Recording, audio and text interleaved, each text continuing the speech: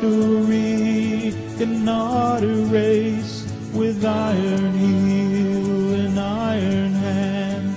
The Roman popes rule the land, those ignorant of history may be swept into apostasy. We won't be loved by Rome's sweet lie with 50 million reasons why.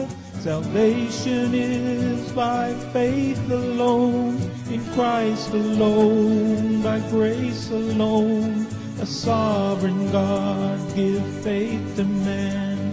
Salvation's in the Maker's hand. This gospel offends Rome today. They offer up another way, a counterfeit, a compromise. Beware the ancient papal lie with such a cloud of witnesses who by grace died in their Lord. Recall their memory to say, by the same faith we live today. Good evening. My name's Tom Friess, host of Inquisition Update, and uh, you're listening to Walt's Mystery Babylon News Radio. And Walt has asked me to come and continue our reading and discussion of the book Romanism and the Reformation from the Standpoint of Prophecy by Henry Grattan Guinness.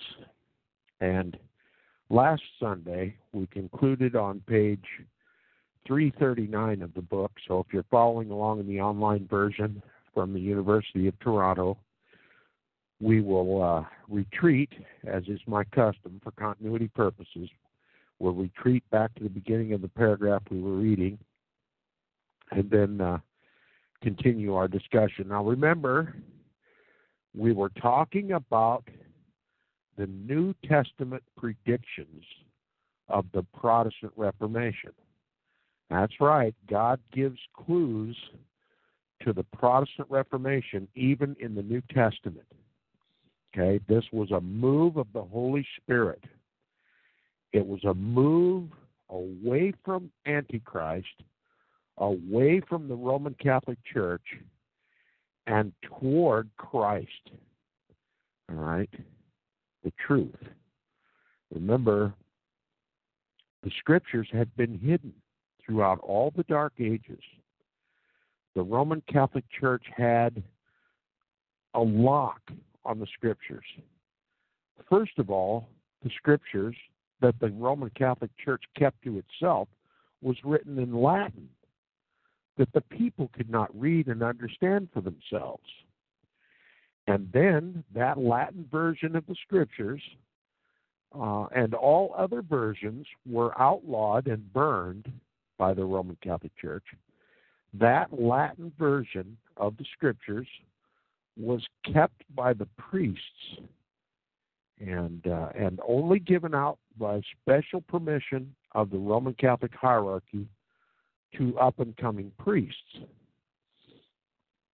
So that's what made the Dark Ages the Dark Ages. The light of the gospel was not possessed by the people; it was possessed only by the the priests and the prelates of the Roman Catholic Church. And they simply lied to the people about what the scriptures say in order to support the idea that the Pope is the vicar of Christ, the replacement of the Son of God on earth, and that by divine right, he should not only rule over the spiritual things of the people, but also over the temporal things, that the Pope had power to seat and unseat the kings and the governments of, of all of quote unquote Christendom, and that if any uh, king or queen or potentate or president defied the direct orders of the papacy, the papacy could overthrow that government and seat one that would obey him.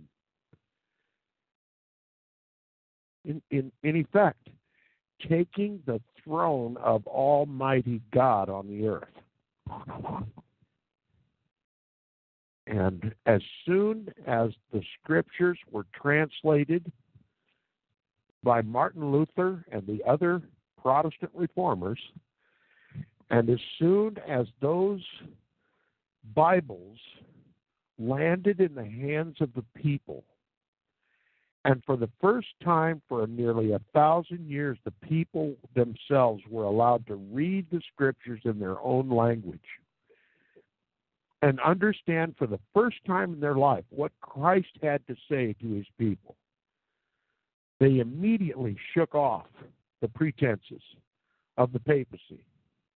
They stripped from him both his spiritual power and his temporal power.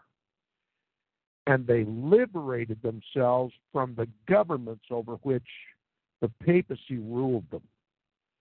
And they elected their own governments and they wrote their own constitutions, and they put Christ on his rightful throne and obeyed the scriptures. The civil laws of the land became beneficial to the people, not the Pope. And the laws of the lands preserved the rights the God given rights to the people, where the papacy before that time had denied the people any rights. This is why it was called the Dark Ages. It was the Protestant Reformation, the light of Christ that exposed the darkness of the Dark Ages, exposed the darkness of the papacy, exposed the darkness of the papal king, the papal kingdoms over which the Pope ruled tremendous upheaval at the time of the Protestant Reformation. World changing upheaval. And it was all because of the scriptures. It was all because for the first time in nearly a thousand years, Christ's voice was heard. Now, with that preface, we'll begin our discussion on page 338 at the middle of the page. Quote, the Reformation, which commenced with the struggles of a humble soul in the cell of a convent in Erfurt, has never ceased to advance. An obscure individual with the word of life in his hand had stood erect in presence of worldly grandeur and made it tremble. This word he had opposed first to Tetzel, the one who was selling indulgences, remember, and his numerous hosts. And these avaricious merchants, after a momentary resistance, had taken flight. Next, he opposed it to the legate of Rome at Augsburg. And the legate, paralyzed, had allowed his prey to escape. At a later period, he had opposed it to the champions of learning in the halls of Leipzig, the University of Leipzig. And the astonished theologians had seen their syllogistic weapons broken to pieces in their hands. You see what effect, what early effects Martin Luther's translation of the scripture had? It began the work of reformation almost immediately. Continuing, he says, At last he had opposed it to the Pope, who, disturbed in his sleep, had risen up upon his throne and thundered at the troublesome monk. But the whole power of the head of Christendom, this word had paralyzed.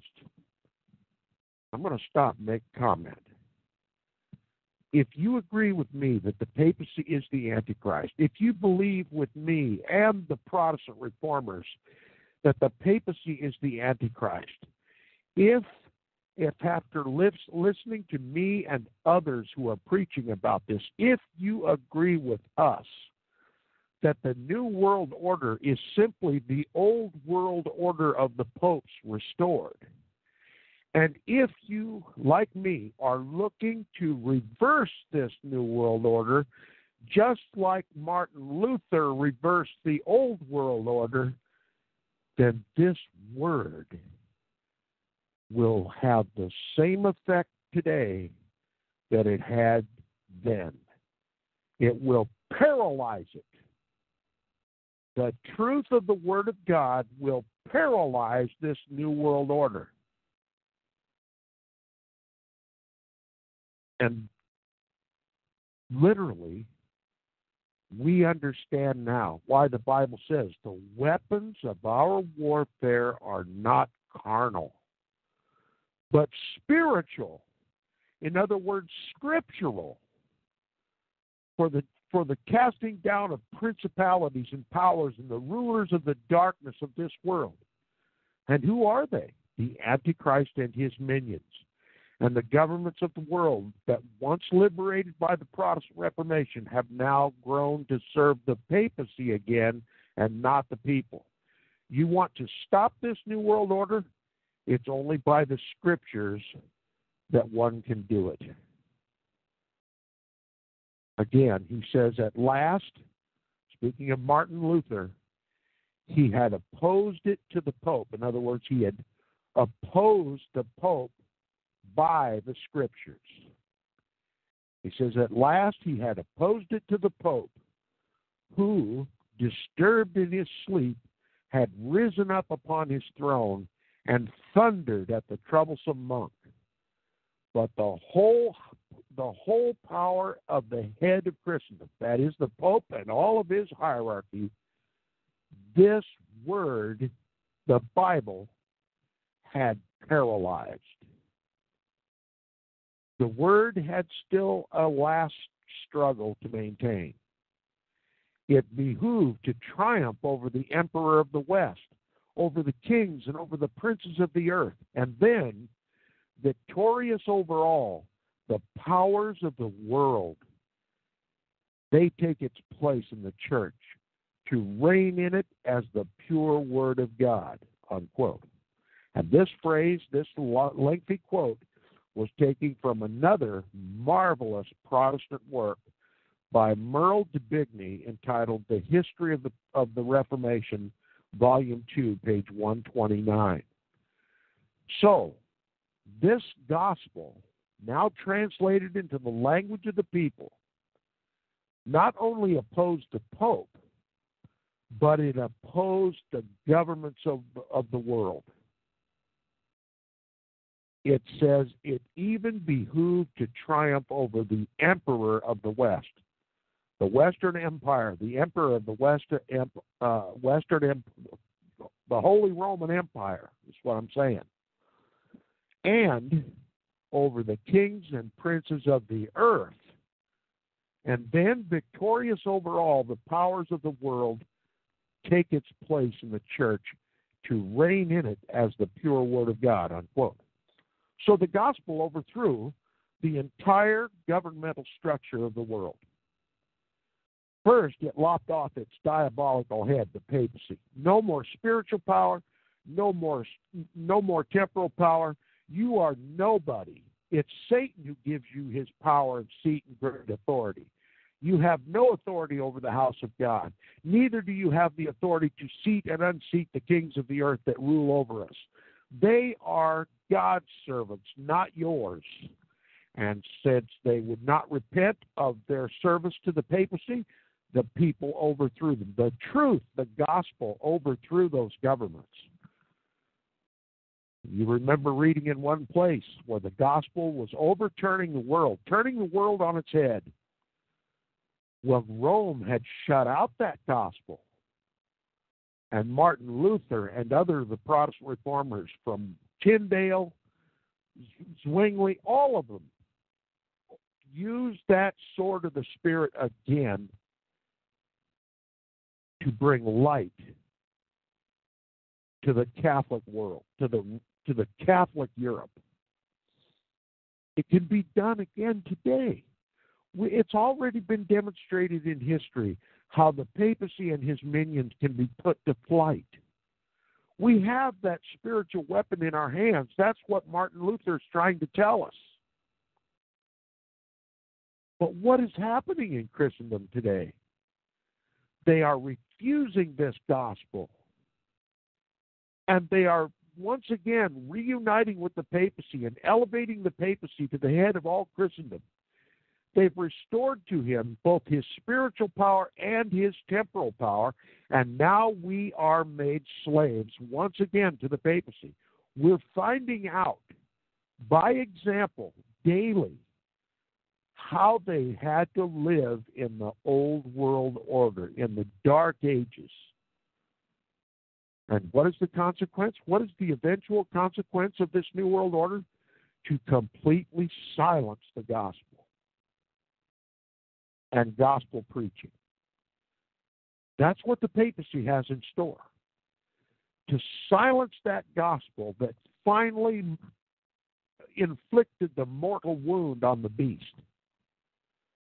To silence that gospel and then to restore the order that the Pope enjoyed prior to the Protestant Reformation, restoring to himself both his spiritual power and his temporal power, and then reorganizing the governments of the world to serve him and oppress the people. Do you feel oppressed today? History is simply repeating itself. This isn't rocket science. This isn't brain surgery. This is basic elementary Christendom, Christianity. This is history repeating itself. It shouldn't surprise anybody. It shouldn't perplex anybody. It should just be a recipe for victory. We've already seen how the Protestant reformers overthrew the old world order. Shall we, in our generation now, seeing the history of this old world order, shall we now, once the Protestants have, have shown us perfectly how to overthrow that new world, the, that old world order, should we now sit and wring our hands at what to do about the New World Order? Well, I'm not much of a hand wringer. I'm a fighter, I'm a doer, and I'm a Protestant reformer. I know the papacy is the Antichrist. I know he now controls the governments of the world, including the United States and the government, and no what no government more so than he controls the government of the United States. And that's why I'm reading this book, this history, restoring this history to your Protestant mind, so that you leave the ecumenical movement and return to the protest. The protest is not over. For America, the protest might be just beginning. But it's up to us. If we will fight for Christ, He will strengthen us. If we go along with this New World Order, if we go along kowtowing to the papacy, if we kowtow to this ecumenical movement, then fate is going to have her way. Are we going to do like the Israelites, bow the knee to Baal, and then be cast aside, cast off into the Babylonian captivity? We've already tasted our liberty. Shall we return to Babylon? Or shall we go on to Christ? The answer is obvious. But the flesh is weak, isn't it? He continues in the middle of page 339. Quote, let us believe the gospel. Let us believe St. Paul and not the letters and decretals of the Pope unquote, Luther was wont to say. Quoting further, he says, Are you the man that undertakes to reform the papacy? said an officer to him one day. Yes, replied Luther, I am the man. I confide in, I confide in Almighty God, whose word I have before me. Sooner sacrifice my body and my life Better to allow my arms and legs to be cut off, said he to the archbishop, who tried to persuade him to retract his writings, quote, than abandon the clear and genuine Word of God. Martin Luther said, Yes, I'm the man. I'm going to deliver God's people from the oppressor in Rome. Rather, the gospel is going to be do it. Is going to do it. And it would be better for my arms and legs to be cut off, my body to be dismembered, than to abandon the clear and genuine Word of God. Martin Luther was dead set in his mission to oppose Antichrist and thereby stand for Christ. That's our mission. Our mission today is the same one that Martin Luther welcomed. And there would be no ecumenical movement for Martin Luther. There would be no uniting once again with the Roman Catholic Church. There would be no more popes in the life of Martin Luther. No more sacrificing priests in the life of Luther. There would only be the scriptures and the scriptures alone, faith and faith alone, in Christ and Christ alone, and only preaching the gospel for the rest of his life. And because he took that position, he liberated all of Europe from the papacy, put the jack back in the box, and put the light of Christ all over Europe. Would to God that history would repeat itself in that form rather than to have this papal New World Order roll over us like a steam locomotive. He says, continuing at the bottom of page 339. From his lonely Patmos like prison in the castle of Wartburg. Now, here's a, a literary likeness between Martin Luther and John the Revelator. I don't want you to miss this. He says, from his lonely Patmos like prison in the castle of Wartburg, in the forests of Thuringia in Germany, Luther gave his priceless treasure, the Word of God, to the country in a translation which is still in use in Germany. He felt that the Bible, which had liberated him, could alone liberate his people.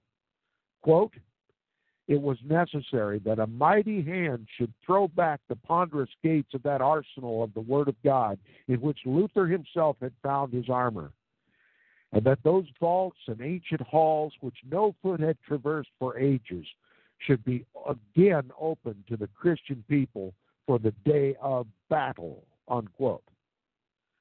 Quoting again, it says, Let this single book, he exclaims, be in all tongues in all lands, before all eyes, in all ears, in all hearts. And again, the scripture, without any commentary, is the sun from which all teachers must receive light. Unquote. And not Luther only, but all the reformers, like the apostles before them, held up the word of God alone for light just as they held up the sacrifice of Christ alone for salvation. They gave to the world the book which Christ had given to them, which they had found sweet to their souls, though it subsequently brought on them bitter trouble. It was an established principle of the Protestant Reformation to reject nothing but what was opposed to quote, some clear and formal declaration of the Holy Scriptures, unquote. Now, I don't want to dwell on this, but I need to make a point at this at this stage. Early in the Protestant Reformation, they were all being reformed. They were all on the learning curve. They were all coming out of Roman Catholicism and into the light of the gospel. And so it was a process. And they developed an early strategy. Since the gospel was relatively new to them, they didn't have the full revelation of the scriptures yet. They were learning. And so they took the early position in their discussions of the Word of God to reject nothing but what was directly opposed in the scriptures. All right? New doctrines were coming out. The true gospel of Jesus Christ was coming out. The true teachings of Scripture. How to be a true follower of Jesus Christ was first becoming known to them. And they knew there had to be a tremendous reform in their lives because they had been living in the darkness, been living under the lies of the papacy and the priests. So they had a lot of riddles to unfold. They had a lot of correction to make in their lives, in their spiritual and physical lives. And their initial their initial plan of operations was to reject nothing except that which the scripture specifically opposes. All right, this means immediately they throw out the sacrificing priest. There's no such thing in the Bible. They throw out the pope. There's no such thing in the Bible. They throw out the mass. There's no such thing in the Bible. And you can see where this is going, right? This transformation from Roman Catholicism to true Bible Christianity. But and I will gently as I can try to suggest to you that they didn't go far enough. They didn't find any direct, concrete, clear, and formal declaration against the most unbiblical traditions of the Roman Catholic Church. That is Sunday worship, the worship of God, or rather Sabbath, they call it, to be held on the first day of the week and not the seventh. That is clearly a violation of Scripture. There's not one word in all the Bible, from Genesis to Revelation, announcing a change of the Sabbath. Did God get it wrong the first time? And had to change it? Is he a man that he should err? No.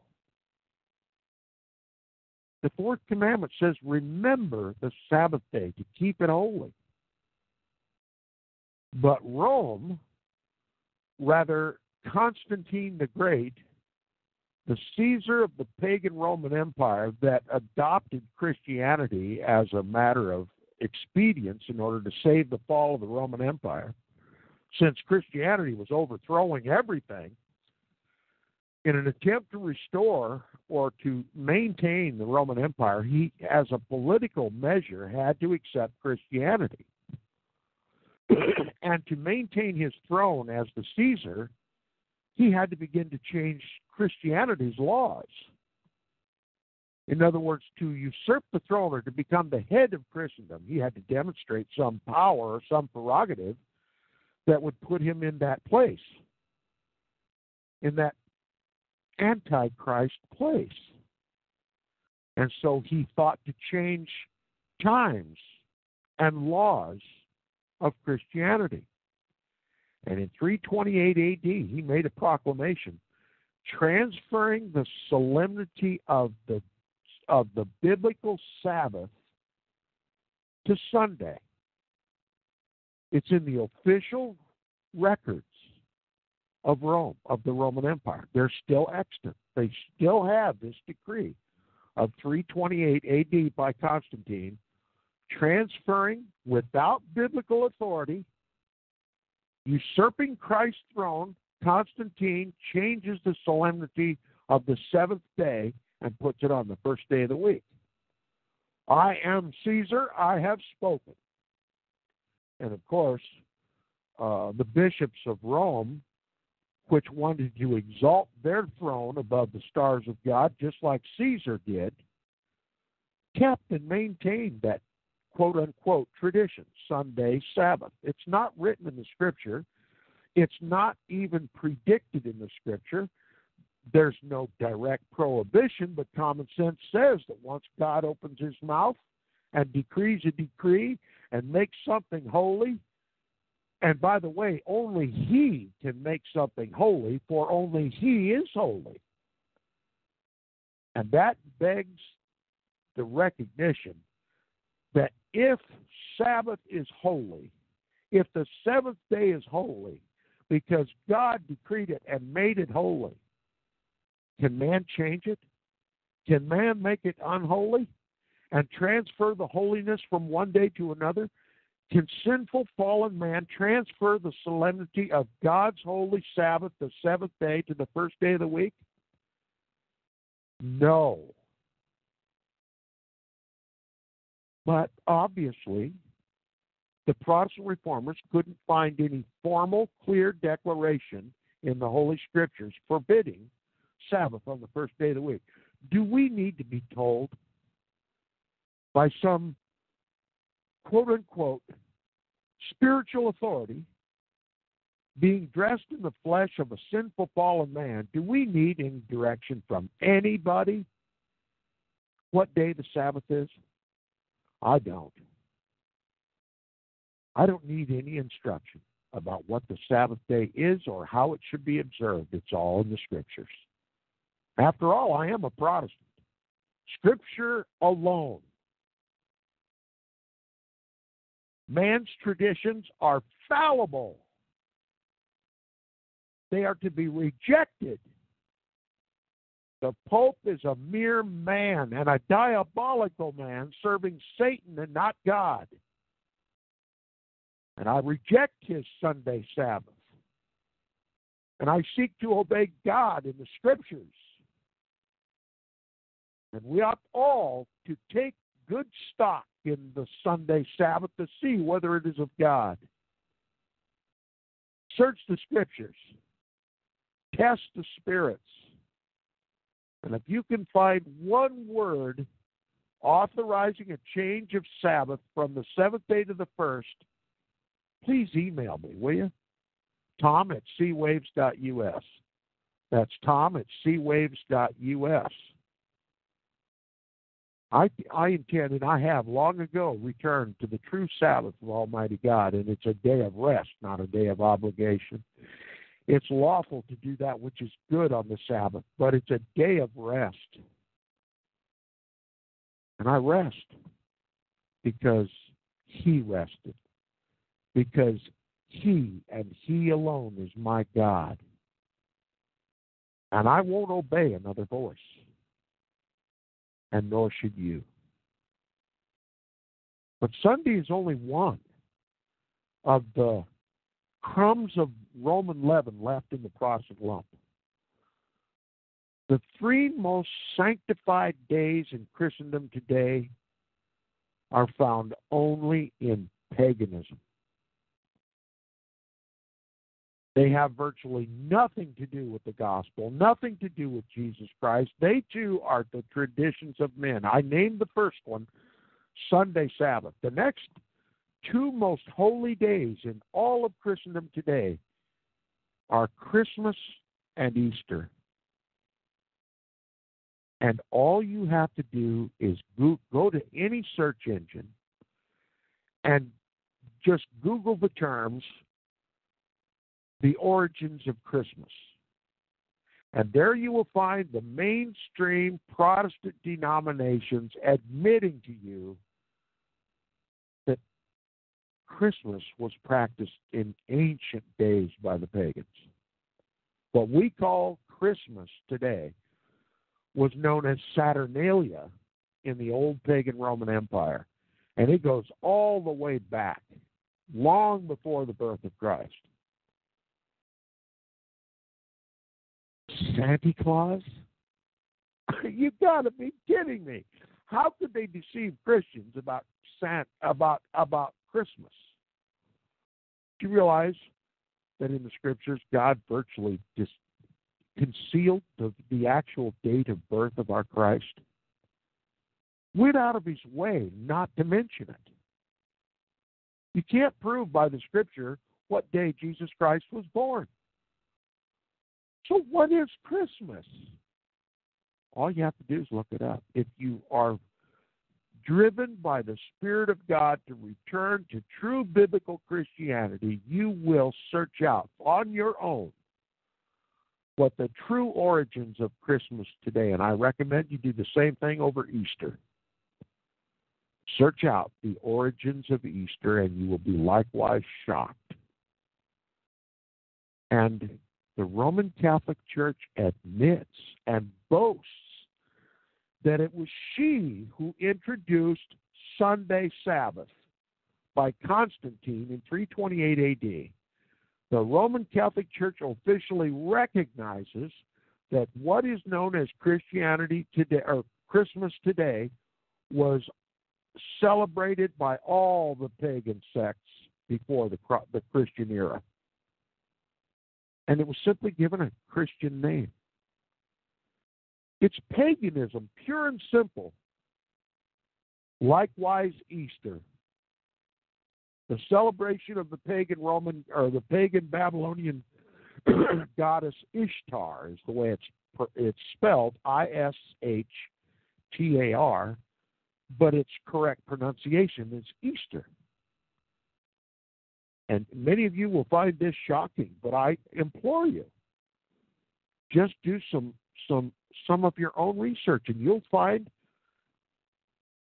accredited Protestant authorities of every denomination admitting the pagan origin of all three of these most precious Christian traditions Sunday, Christmas, and Easter.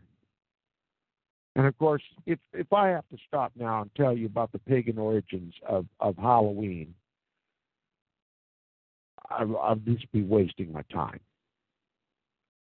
But yet they're practiced as a matter of religion, as a matter of worship of Jesus Christ to this day in Christianity. Never been repudiated. And I'm telling you, those three holidays, four really, if you include Halloween, they're not holy. They're not holy days. They are diabolical traditions of pagans and yet they're considered to be the most precious holy days in all of Christendom, in every denomination, even in the Roman Catholic Church. And you can't explain that away. And you can't put false fire on God's altar. You can't mix the holy with the profane and, ex- and expect God to receive it as worship. We must repent all the way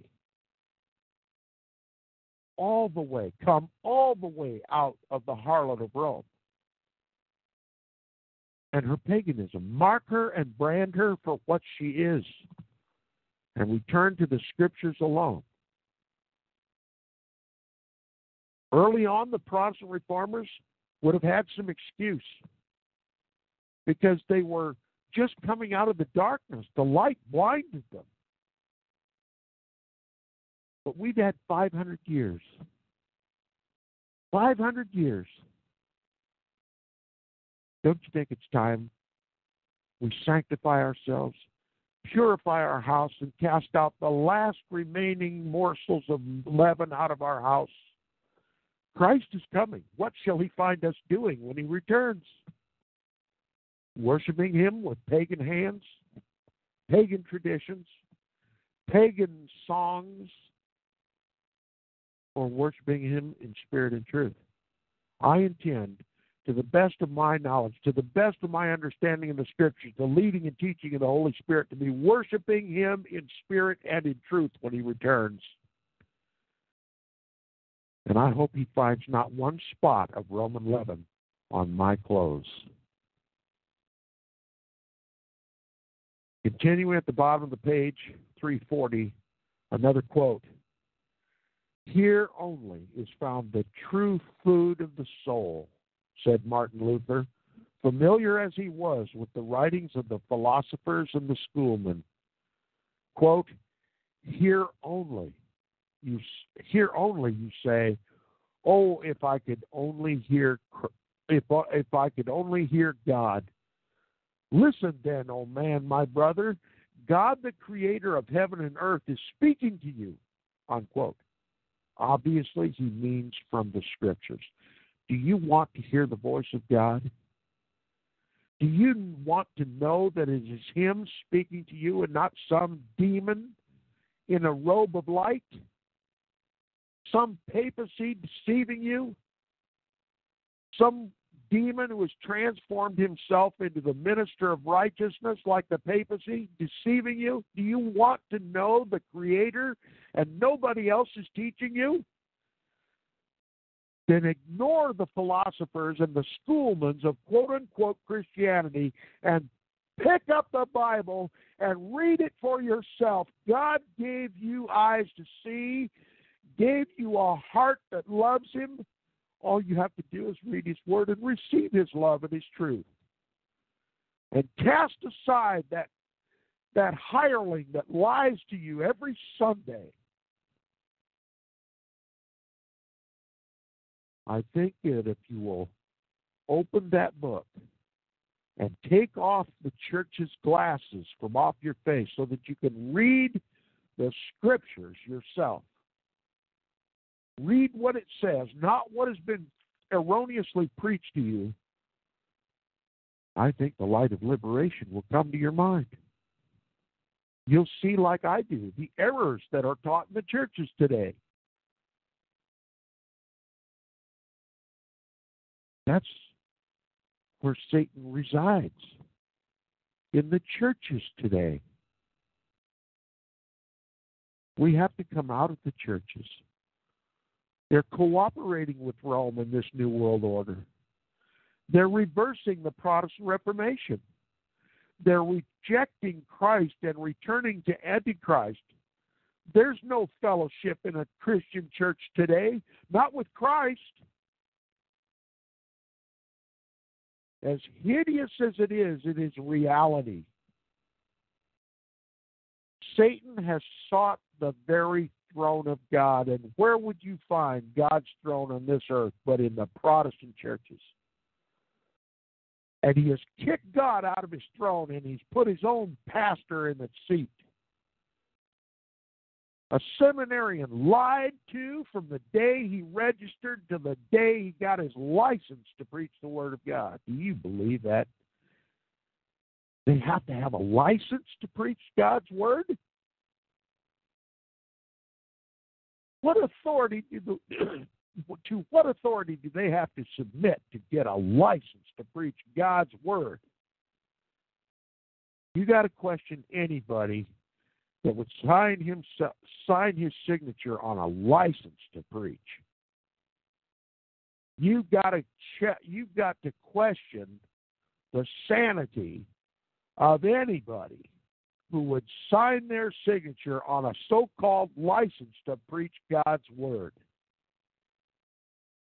Right there's where you'll find Satan, right there behind the pulpit of your Protestant church, preaching you smooth things Oh, yes, we're all going to go in the rapture even before the Antichrist shows up.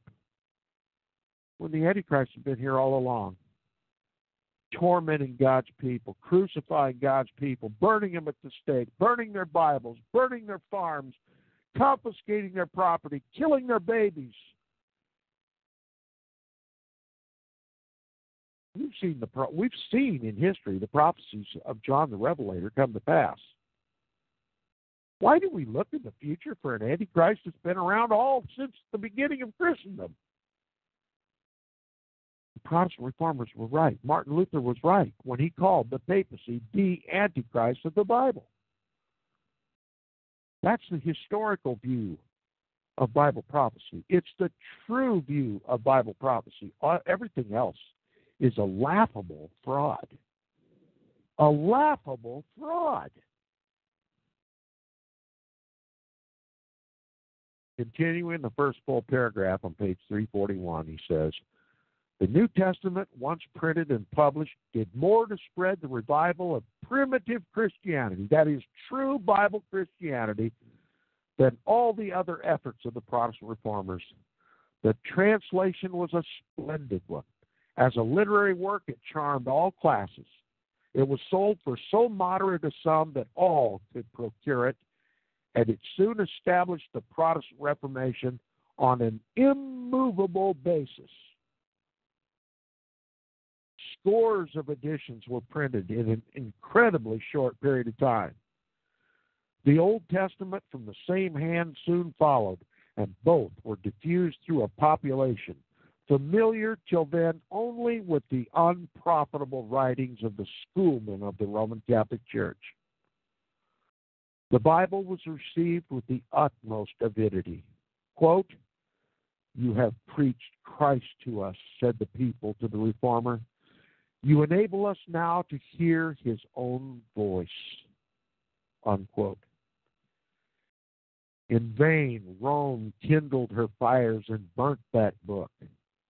It only increased the demand, and before long, the papal theologians, finding it impossible to suppress Martin Luther's translation, were constrained to print a rival edition of their own. And this is where the Roman Catholic Bible comes from.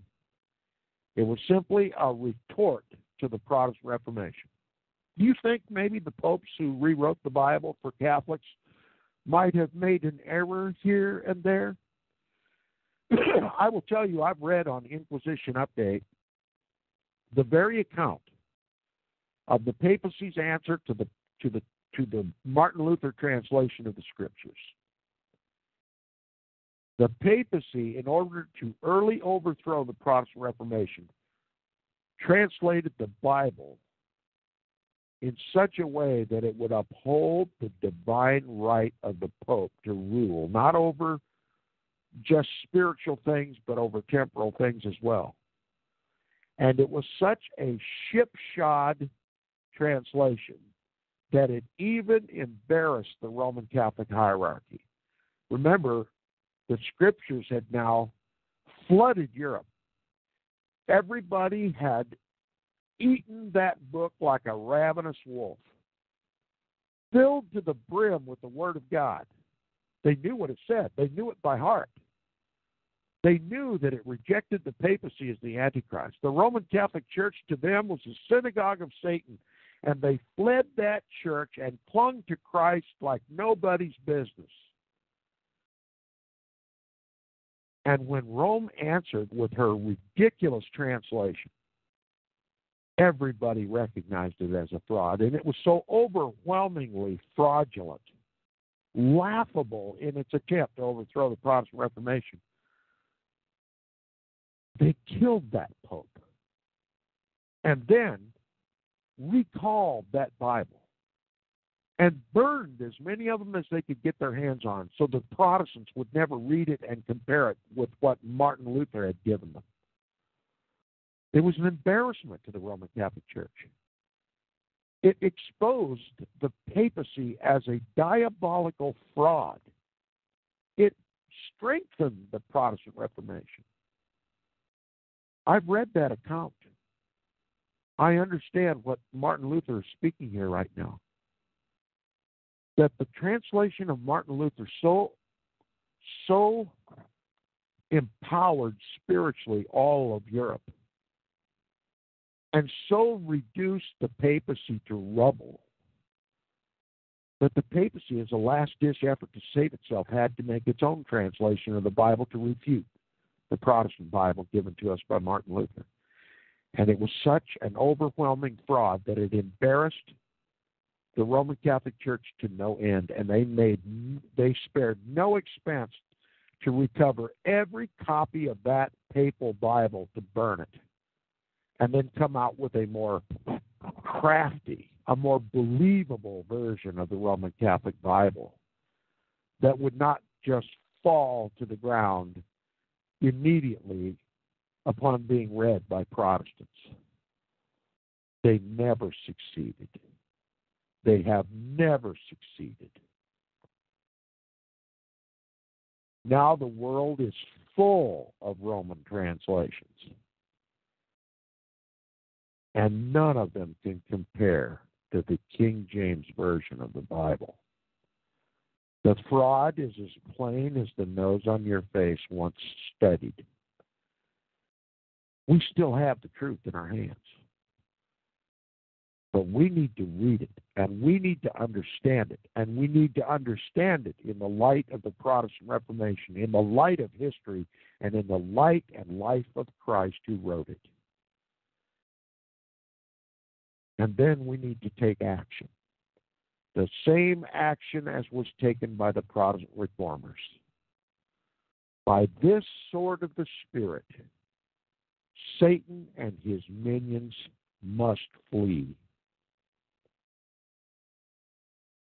The New World Order could be destroyed without a shot if God's people would have faith in Christ, faith in the Scriptures, faith in the truth, and had the fortitude to open their mouths and protest against the Antichrist and the, and the Roman Catholic Church.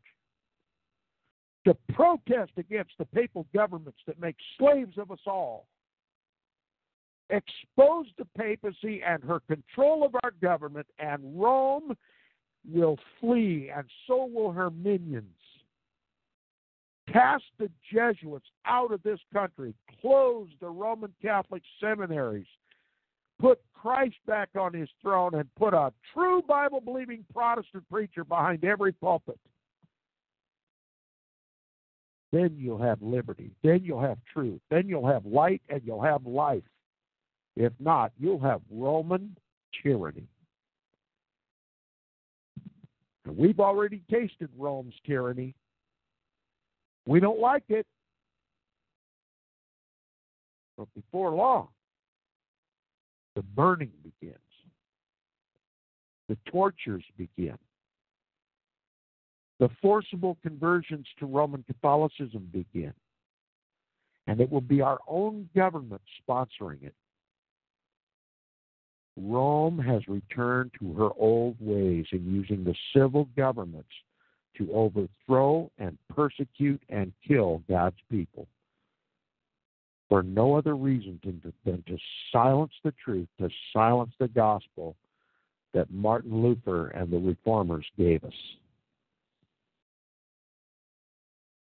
Now, at the bottom of page 341, he says, Once the Bible was thus read in the households of Christendom, the great change could not be averted. A new life new thoughts, new standards, a new courage sprang up. God's own words were heard at the firesides of the people, and the power of the priest was gone.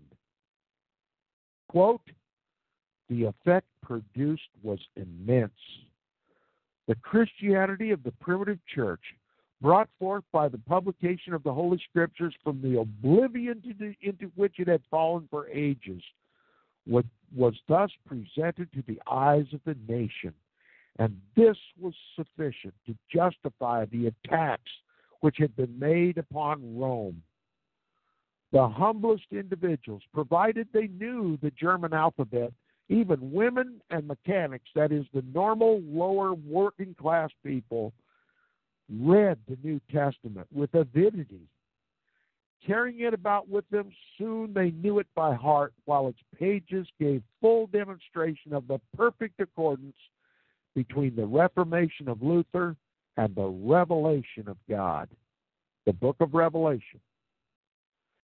It was the same in France. Imagine Roman Catholic France was liberated by the gospel. It says it was the same in France. In 1522, a translation of the four Gospels was published in France by one by the name of Lefebvre, and soon after the whole New Testament. Then followed a version of the Psalms. In France, just as in Germany, the effect was immense. Both the learned and noble and the common people were moved. Quote, in many, says the chronicler of the 16th century, was engendered so ardent a desire to know the way of salvation that artisans, carders, spinners, and combers, that is, those people that that raise sheep and harvest wool, carders, spinners, and combers, that's what you do to wool. Okay, we're talking about the average working class Frenchman. It says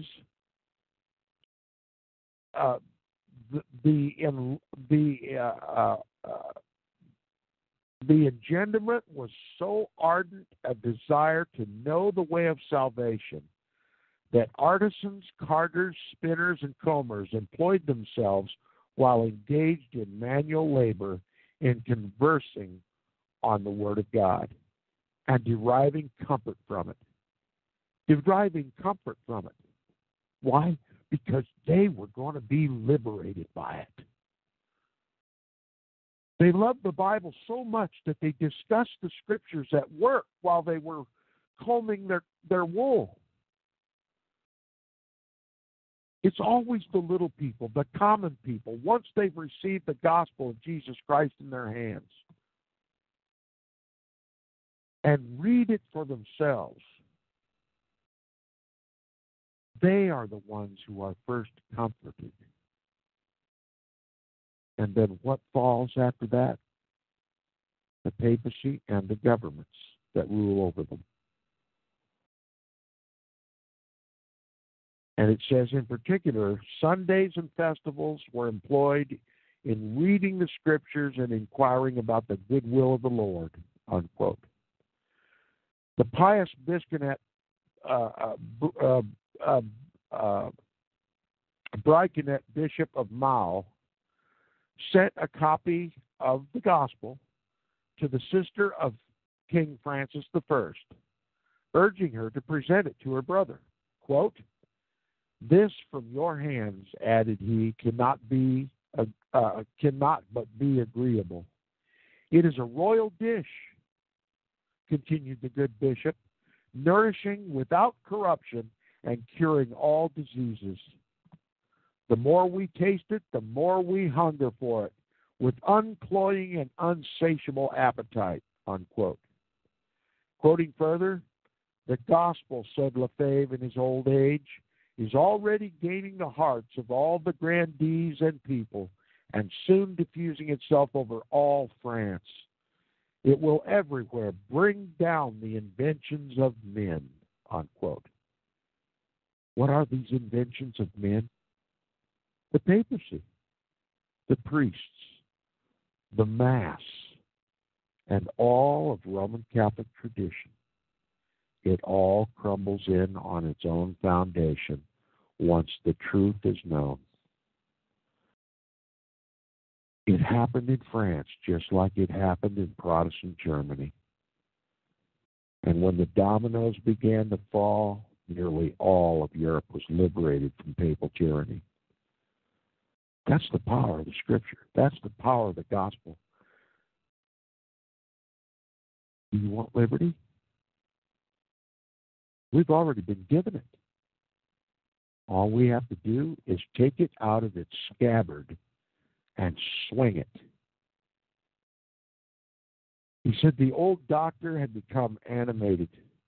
His eyes, which had grown dim, sparkled. His trembling voice was again full toned. It was like old Simeon thanking the Lord for having seen his salvation. You know, we ought to all stop and read again the account of Simeon. Old in age and faint in his eyes, led by the Holy Spirit to go to the temple and wait on the steps of the temple because the Messiah was coming by the arms of his mother to be circumcised on the eighth day of his life. Simeon, led by the Holy Spirit, that is, by the Scriptures, understanding from the scriptures the t- understanding from the scriptures the time of Israel's visitation. He understood the prophecies of Daniel. And he was waiting on the steps of the temple on the eighth day of Christ's birth when Mary and Joseph would come to bring him to be circumcised by the priest according to the law. And he said, Now mine eyes have seen the salvation of Israel. Would to God that we understood Daniel's prophecies. Would to God that we understood the preview of the Protestant Reformation, even in the New Testament.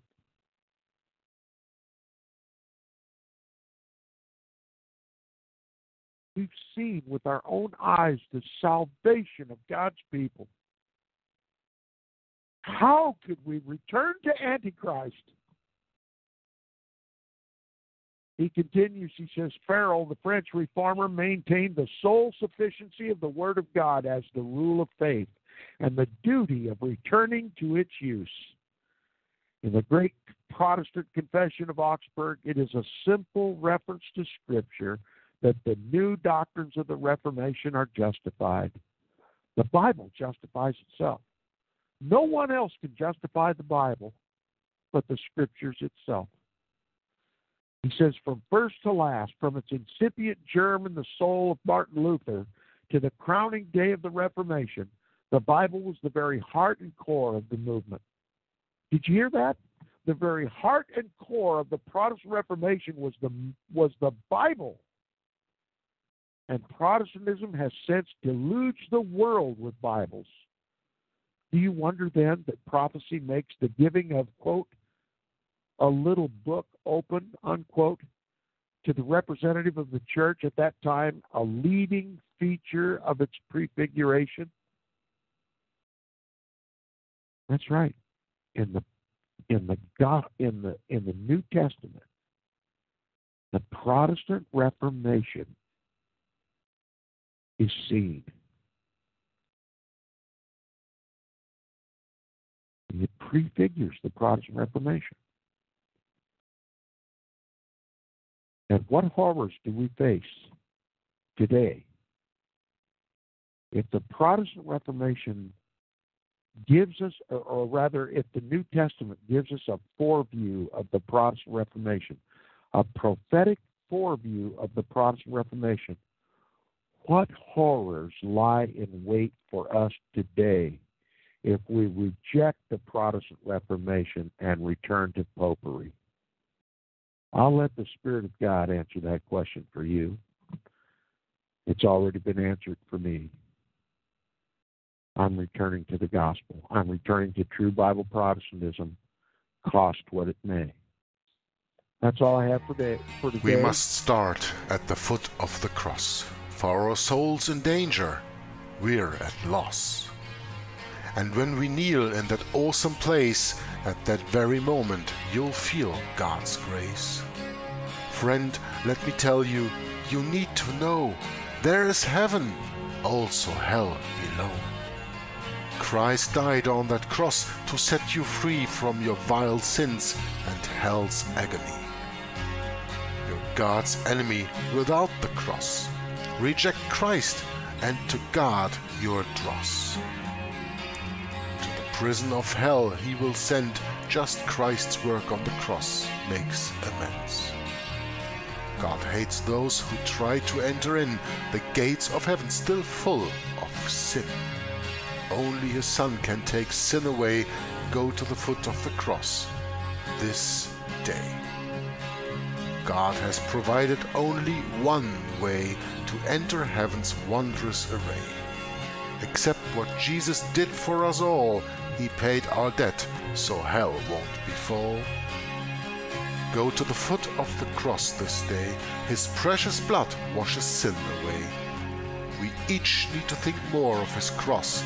Without our Savior, we're total loss.